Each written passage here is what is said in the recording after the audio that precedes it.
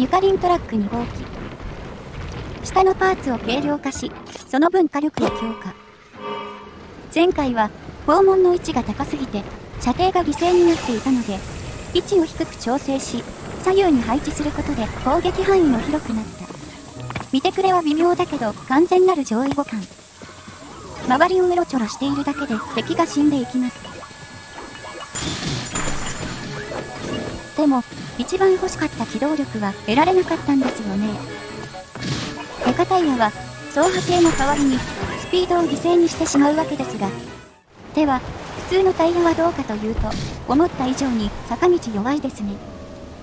爆速になる、裏に冷凍食品仕込む技も、平地以外だと勝手に滑っていくし、そもそも重いと全く動かない。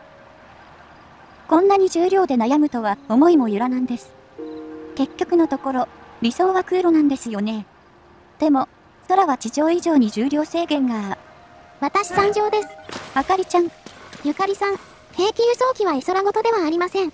ちゃんと、兵器の空輸はできますよ。これを見てください。おお、ちゃんと物を積みながら飛んでいる。レシピはシンプルで、カルエータ、操縦桿、扇風機 ×6 です。それなりに重量ありそうですが、高度も確保できていますし、旋回性も悪くないですね。これぞあかりちゃんが求めた理想の乗り物です。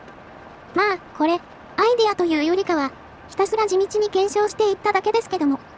軽い板を探して、扇風機を一つずつ増やしていって、どの程度あればちゃんと浮いてくれるかみたいな。だけど、コツコツとした積み重ね大事。兵器の方は、ゴーレムヘッドと起き上がりこぼしに混戦の頭を複数つけてます。竜の頭シリーズは重さが軽いらしく、結構数を詰めたのはラッキーでした。残念ながら追跡台車、浮遊石はダメだったんですけどね。ああ、あの2つは団体でも結構な重量なんですよね。浮遊石起動していればワンチャンあると思いましたが、あれ空中浮遊ではなく、空中固定が正しいので、ロケットじゃないとまともに動きません。私、バネで兵器積んだ浮遊石を敵拠点にと飛ばそうと思ったことありましたけど、全く動かなくてがっかりしたことあります。何かに使えそうだけど、重いのはどうにもならない悲しみ。制限がある中、起き上がりゴーレムヘッドが積めたのは幸いでした。問題点を挙げるとすれば燃費でしょうか。ちょっと、扇風機6個分の燃費は重いですが、胴体着陸できるので途中休憩しやすい設計です。休み休みでも、少なくとも大体タよりは速いし、もちろん移動範囲も上です。ある程度バッテリー揃ってないときつそうではありますが、それさえクリアすれば使い勝手良さそうですね。しかもですよ、これライネル狩りにも使えちゃったり。え、でもライネルって、ウルトラハンド製のもの見ると、目の敵にしてきて、真っ先に解除してくるじゃないですか。あ、もしかして方向が届かない空中から打ち続けるやつですか？それだったら知ってるの？いえ、それもできるんですけど、普通に地上からなぶり殺しにします。なん、だと？というのも、最近ウルトラハンドが解除されない方法が編み出されてしまったんですよね。ほほ。論より証拠、ということで、ライネルに向かいます。そして着陸した後、ブループリントに登録してある宝箱 ×2 を前方に設置します。宝箱ですか？はい、これが肝なんですよ。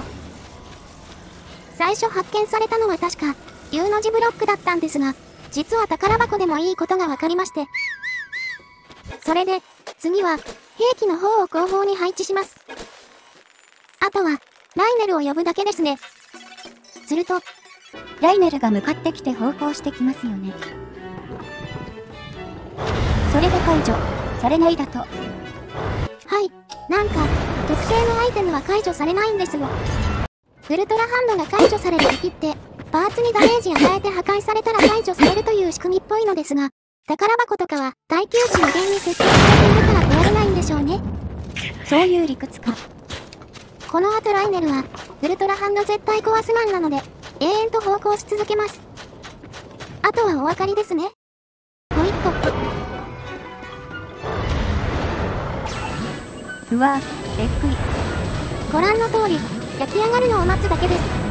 まあ、何も兵器使わなくても、普通に殴りに行って大丈夫っぽいのですが、たまにロック外れて攻撃されることもあるので、こちらの方がより安全で、適切役にはなるかなと。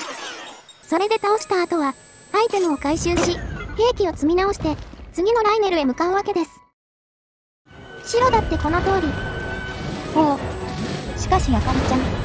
これ、乗り物がすごいというよりは、宝箱戦闘がすごいだけじゃ。はい、そうですね。なので、この乗り物の良さは、あくまで運ぶことによって、使い回しができるってところですね。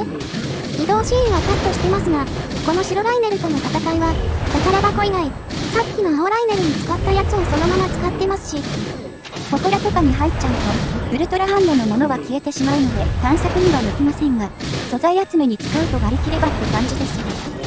お手軽に、魔物素材やライネル素材を集めたい方は、ぜひぜひ試してみてください。むむ、このまま終わってしまうと、私の先輩としての威厳が、何かないでしょうか。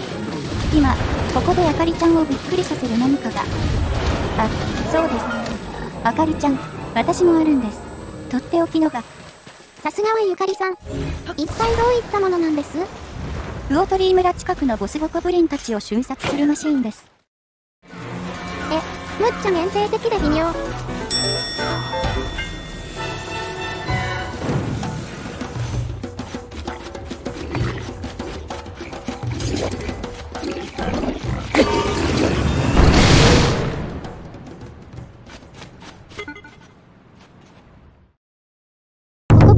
信コーナーだよ。追跡会社でよ